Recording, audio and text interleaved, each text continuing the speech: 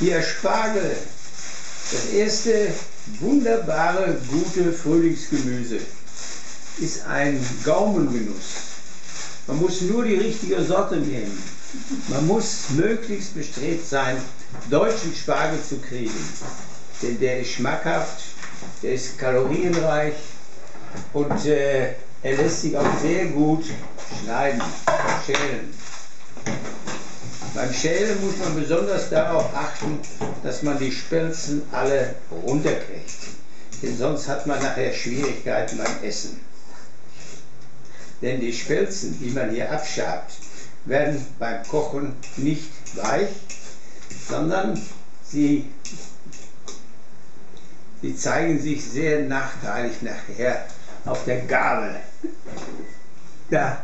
Wahnsinn.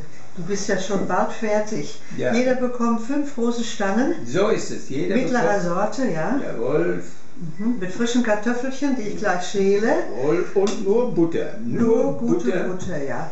Die angemachte äh, Hollandaise zerstört den eigentlichen Spargelgeschmack.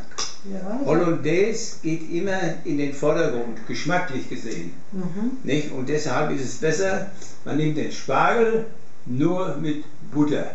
Mhm. Hör auf.